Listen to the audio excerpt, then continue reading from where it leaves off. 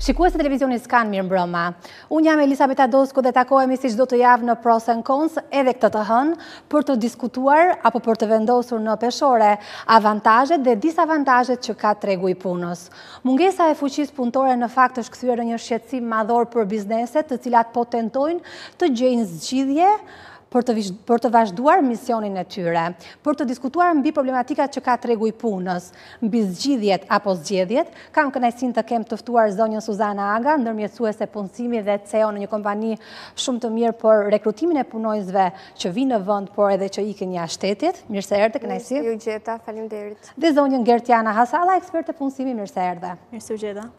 Është traditë që përpara se të nisim diskutimin, do ndalemi në listën e pros e consve që kemi përgatitur paraprakisht, dhe tek lista e avantazheve apo pros që ka aktualisht tregu i punës, Kemi ofertën e ulët e cila sjell një presion për rritje pagash, dihet që kur nuk ka punonjës, le të themi presioni për rritjen e pagave për kompanitë është më i lartë, kushte në rritje për burimet njerëzore, mundësi më të larta për karrierë, sa më pak konkurrencë aq më i lirshëm është terreni për të bërë karrierë, si dhe orientimi drejt zanateve, ndërsa tek disavantazhet apo tek cons, kemi mungesën e fuqisë punëtore, i cili në fakt unë e konsideroj si avantazh disavantazh shumë të madh për bizneset, importin e punonjësve të huaj që për vendin tonë, le të themi, është një disavantazh sepse do donim që në vend të ishin punonjës shqiptarë, paratë e nxjerra jashtë vendit, ata që punojnë, që janë të huaj, këto para tentojnë t'i nxjerrin jashtë vendit dhe t'i çojnë tek familjarët e tyre,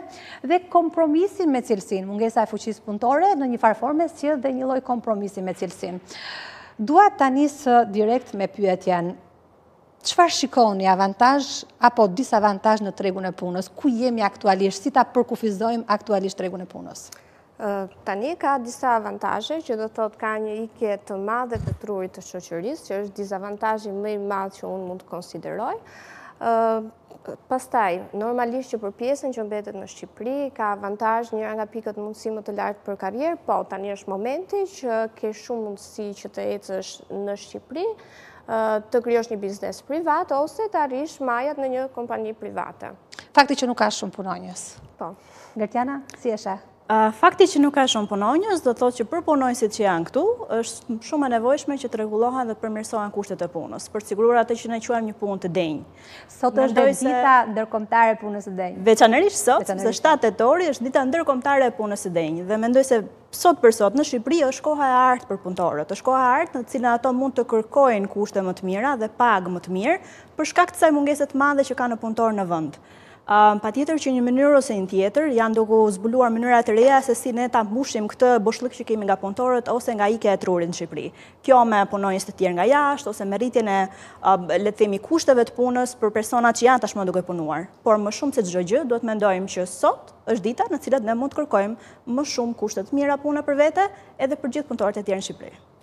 Qartë, do kërkojmë, po çfarë ndodh si po e mbushim këtë gap, e thamë është disavantazh shumë i madh që ne në fakt nuk kemi fuqi punëtore dhe nuk është se ka filluar sivjet kjo problematikë, ka disa vite që po vazhdon. Si po e gjejnë zgjidhjen bizneset? Së pari, unë duhet ta them që nuk është thjesht lokale, shqiptare, është globale. Në qoftë se vëren, në gjithë botën nuk ka punonjës. Në Gjermani nuk ka, në Itali nuk ka, dhe Shqipëria është në të njëjtat kushte, si e gjithë Europa në këtë pikë. Bizneset e mbushin nevojën e vet për punonjës duke rekrutuar nga shtete të huaja. Normalisht një biznes gjen zgjidhje për problemin që mund të ketë. Nuk sakrifikon as cilësinë, as në pagë, por duke zgjedhur një punonjës nga jashtë, Ne vijmë në atë që quajmë globalizim. Pra dhe kompania bën të mundur që të rekrutojë atë punonjës për të cilën ka nevojë. Vendet nga të cilat vijnë punonjësit aktualisht në Shqipëri janë praktikisht nga gjithë bota, që do thotë për profesione të ndryshme rekrutohen punonjës të ndryshme. Hoteleria preferon Filipinet, Indonezitë, fabrika ka kërkesë shumë të madhe për Afrikë, Indi, ndërkohë që po merren dhe profesionistë nga Italia apo Turqia që ndihmojnë, megjithëse kanë paga shumë të larta, por biznesi sakrifikon dhe në këtë pjesë, pra pagat kanë një ndryshim shumë të madh. nga njëri vit në tjetrin. Të ndalemi tek pagat, po a është zgjidhje e mirë kjo? Apo ndoshta duhet të përqëndrohemi më shumë tek bankat e shkollës për të trajnuar të rinjtë që janë në vend që ende nuk kanë një mendje për të ikur dhe për të shfrytëzuar potencialin e tyre? Mund ta them 100% që nuk jam kundër globalizimit, por sa herë që flasim për punonjës të huaj, duhet të shikojmë dhe anën tjetër të medaljes. Punonjësit e huaj zakonisht që vijnë nga vendet e treta e shikojnë Shqipërinë si një vend kalimi dhe qëndrojnë këtu disa muaj dhe më pas largohen. Kjo e bën që investimi që bëjnë kompanitë ose bizneset tek to shkon dëm. Nuk po them për njëqind përqind raste, patjetër që ka raste që janë të suksesshme dhe kemi punonjës që janë këtu në Shqipëri dhe janë çdo ditë këtu duke punuar, por duhet të kemi parasysh dhe plusin ose minusin tjetër të ekonomisë informale. Shumë prej këtyre punonjësve punojnë në biznese duke u mos paguar ose mos u deklaruar njëqind për qind të kohës, duke u deklaruar me paga minimale dhe duke marrë nën dorë pagesa të tjera. Kjo nuk e ndihmon në asnjë mënyrë ekonominë shqiptare. Nuk e ndihmon në asnjë mënyrë skemën tonë të sigurimeve. Pra është një disavantazh, le ta quajmë, që është një disavantazh. Jo, do doja të ndërhyja. Ka një gjë. Mendoj në çdo fushë, përpara se të futesh, duhet të studiosh. Dhe kompanitë në Shqipëri, në momentin që rekrutojnë, nga eksperienca jonë, nuk bëjnë një studim se nga cili nacionalitet unë duhet të rekrutoj.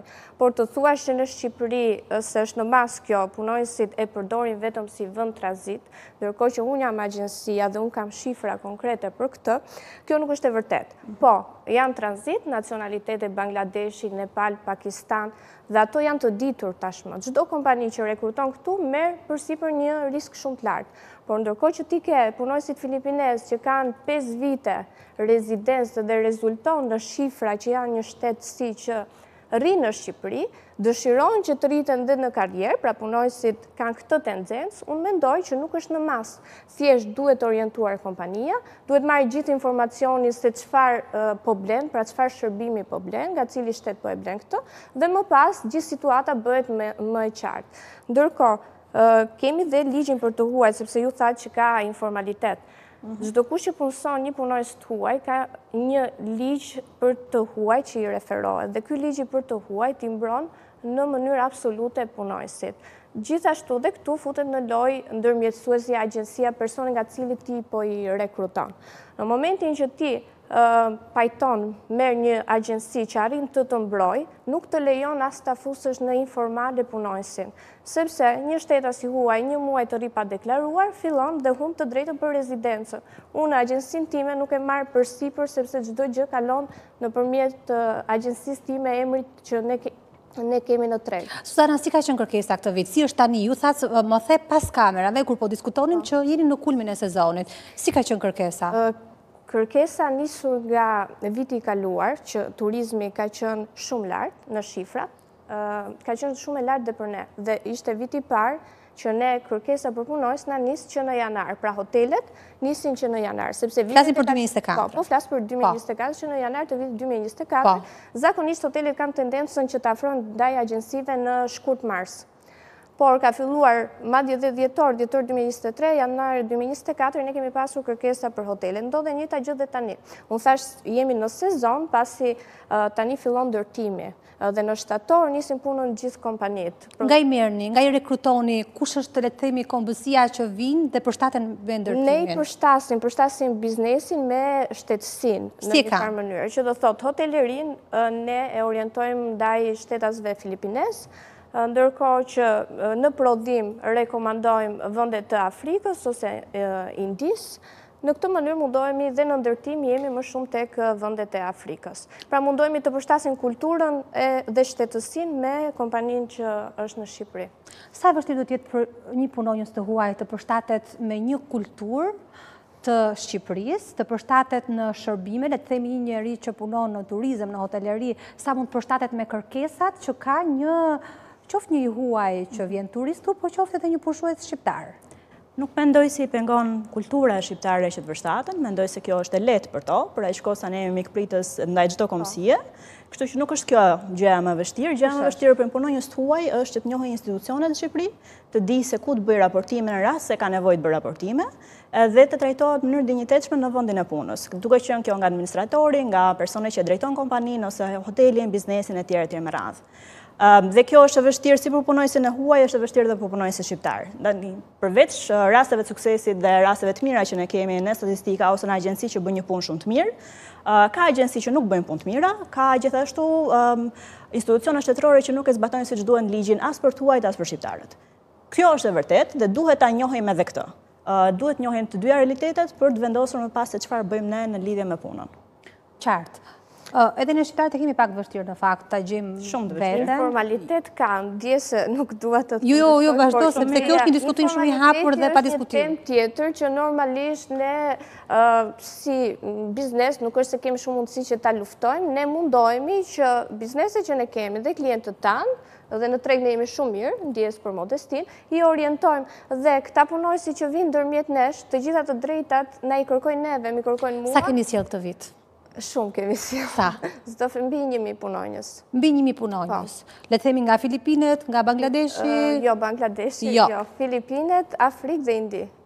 Indi, kush janë më të zotët? Unë kam më për zemër filipinezët. Pse? Sepse na përshtaten ne më shumë në kulturë. Janë adaptohen më shumë dhe na, unë nuk e njoh emigracionin, por shoh që pronarët e bizneseve e kanë të njohur deja vu, sepse kanë emigrua më përpara në Itali ose këto vendet fqinje dhe thonë që filipinezët na kujtojnë veten, kanë të njëjtën dëshirë për të punuar, siç kemi pasur ne, atëherë. Pastaj është dhe kultura pak a shumë. Afrika është larg me ne, në ndërtim po bëjnë një punë të mirë, por ne i trajnojmë, pra ndërhyjmë që t'i trajnojmë që të adaptohen sa më shpejt. Pra, trajnohen në ndërtim, po. do të thotë që ka një kosto trajnimi. Një kosto që... Trajnohen, më ndjesë, po. trajnohen që në vendin e origjinës. Që do të thotë ka, ne shkëmbejmë me agjentët... Kush e merr përsipër koston? E marrim përsipër ne si agjenci, përpara se t'ia kalojmë kompanisë. Vetë shteti, vetë subjektet private që i punësojnë, apo dhe shteti, se ka pasur një diskutim që shteti vetë do bënte një kontratë me vende të huaja për të sjellë punonjës këtu, për të, le të themi, zëvendësuar mungesën e fuqisë punëtore. A merr kosto subjekti privat këtu për trajnimin e tyre?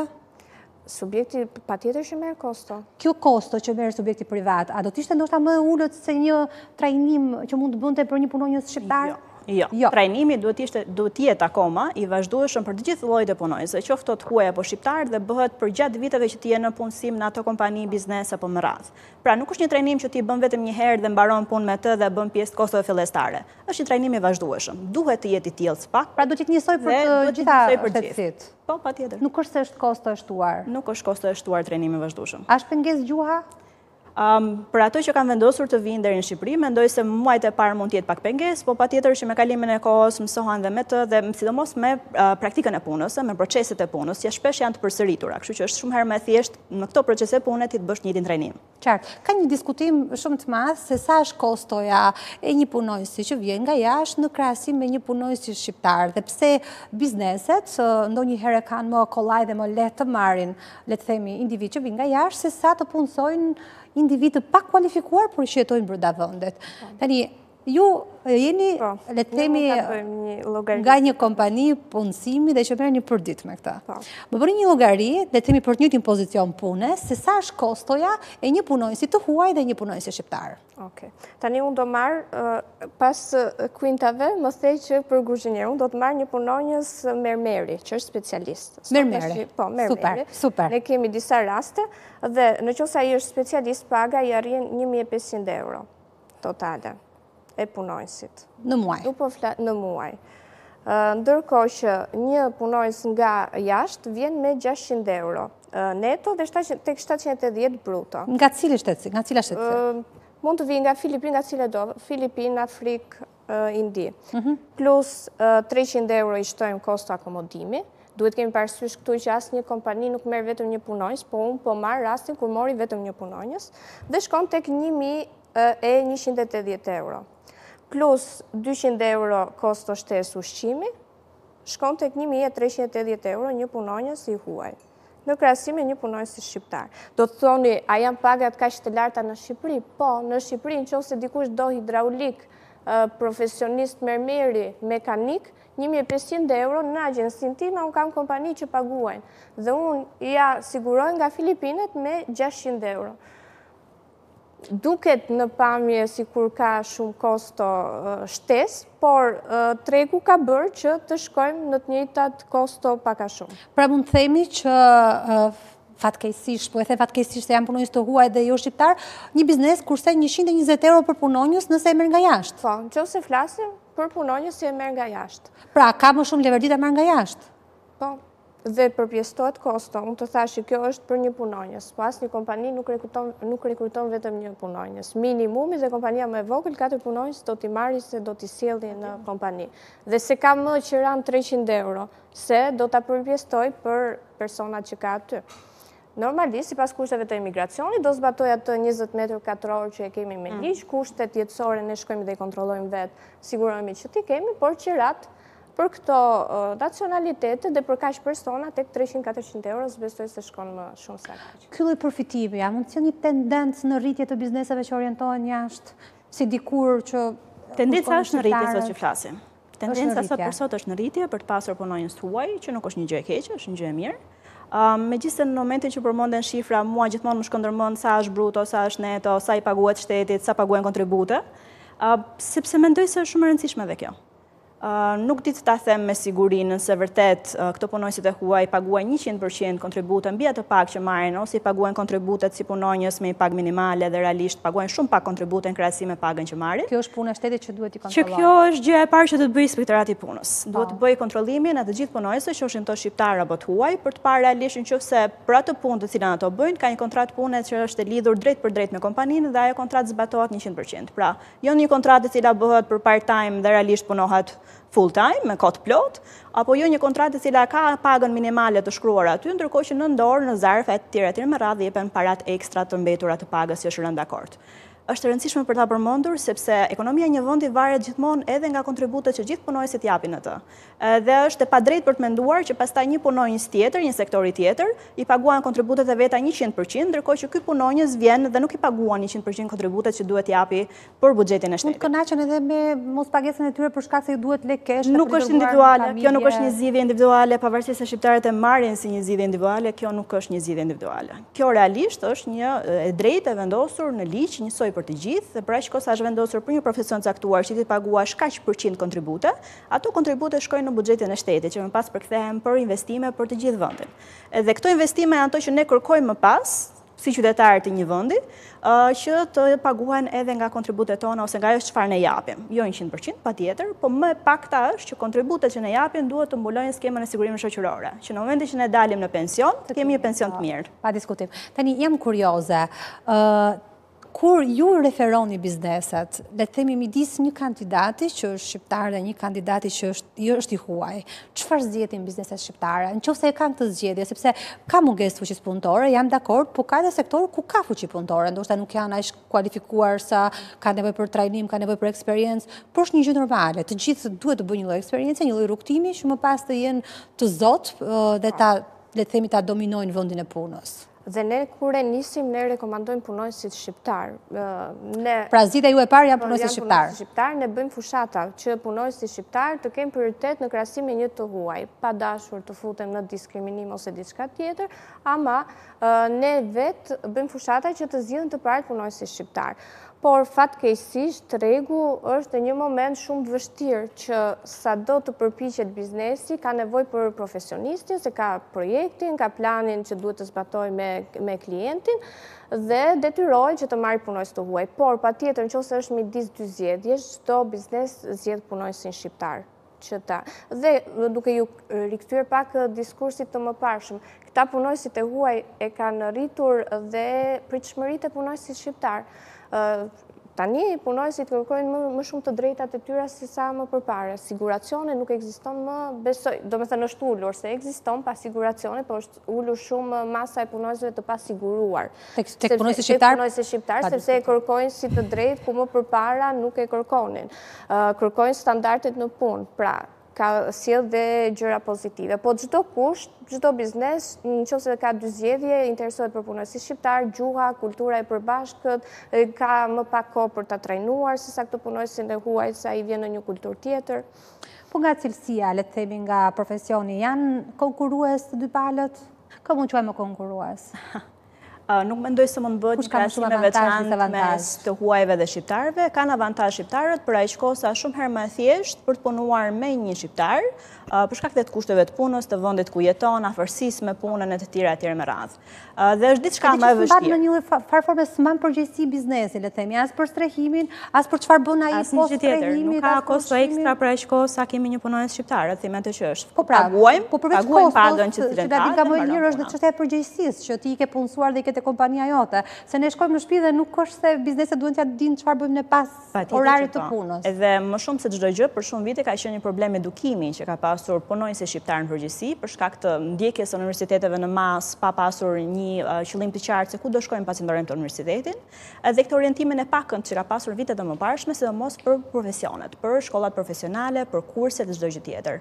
Shumë pak para 10 vitesh, fliteshte për kurset profesionale, Dhe sot e kësaj dite ne kemi gjithmonë më tepër mungesë në punonjës që kanë specifika të caktuara në profesionin e tyre. Pra siç përmendi edhe Suzana, flitet për hidraulik, për elektricistë, për mekanikë etj etj me radhë. Ka shumë pak në treg dhe ato që janë janë shumë të kushtueshëm. Kështu që patjetër që po, sepse kërkesa është shumë e lartë, oferta është shumë e ulët. Në këtë rast, gjithmonë e më tepër dhe po të vëreni edhe nga politikat që janë bërë nga qeveria dhe në vazhdim edhe që të mbështeten me të madhe, është kjo nxitja e madhe drejt arsimit profesional. Sepse arsimi i lartë është një arsim i cili i ka të kufizuar numrin e punëve të cilat ti mund të bësh pasi e mbaron atë arsim ose gjithë kualifikimet e tjera. Dhe sot për sot kemi shumë njerëz që kanë një arsim të lartë, kanë një master madje dhe nuk e kanë vënë kurrë në punë. sepse nuk ka pasur vende pune. Si ka mundësi që nuk gjejnë punë këta që kanë arsim profesional, arsimin le të themi të përgjithshëm, master? Sa kanë tentuar ata që të gjejnë vende pune që të marrin eksperiencë? Dëgjo, njoh shumë që kanë çuar CV pa fund dhe nuk gjejnë. Njeh një hidraulik që nuk ka gjetur punë, sa jo, usë njo të përshpintinë? Nuk po flasim për zanatet, jo jo, vetëm për zanatet, po flasim për këta që kanë Le të themi një formim të përgjithshëm, degë të përgjithshme, nuk e di juridiku, sociale... Tani, në qoftë se unë jam po, në brendësi të çështjes, dhe në qoftë se ti ke një jurist dhe një ekonomist, që del, pra një student, del në tregun e punës, dhe ai nuk investon tek vetja që të marrë njohuritë e duhura për t'u bërë një financier ekonomist, normalisht që ai nuk është i përshtatshëm për tregun, nuk mjafton vetëm shkolla, ai duhet ose ajo duhet që të marrë gjithë eksperiencën që të jetë për tregun. Dhe unë mendoj që në Shqipëri ka operatorë, se sa profesionistë, sepse një financier të mirë, sot e kërkon çdo kompani, dhe me pagë shumë të mirë, 1500 euro, 2000 euro, dhe janë shifra po, konkrete. Po pra, po a është e gatshme kompania t'u japë dorë këtyre të po, rinjve që nuk kanë eksperiencën? Por studentët më të mirë zgjedhin të vazhdojnë jashtë vendit. Ja dhe ky është një problem. Po pse?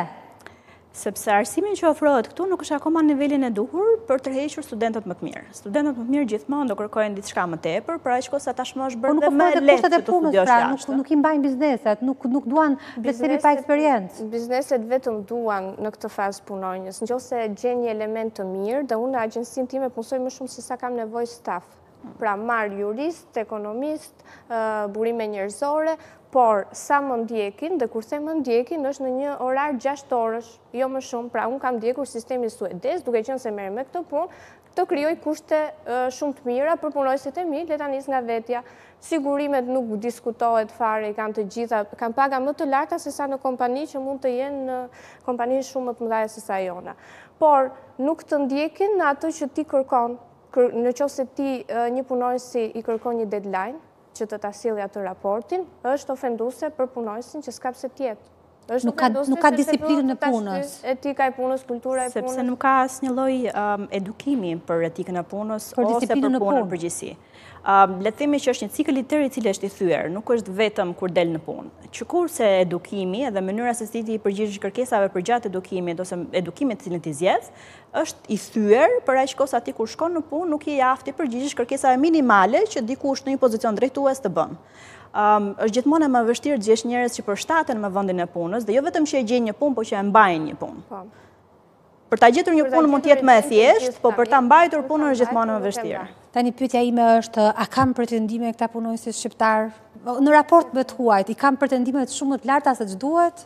Si është situata? Mendoj që nuk përputhet kërkesa dhe oferta. Kërkesa që është nga biznesi është kërkon fiks profesionist dhe juristen kërkon dikë që të jetë i aftë për atë vend pune, ndërkohë që oferta është shumë e dobët fatkeqësisht në këto momente me çfarë shohim ne.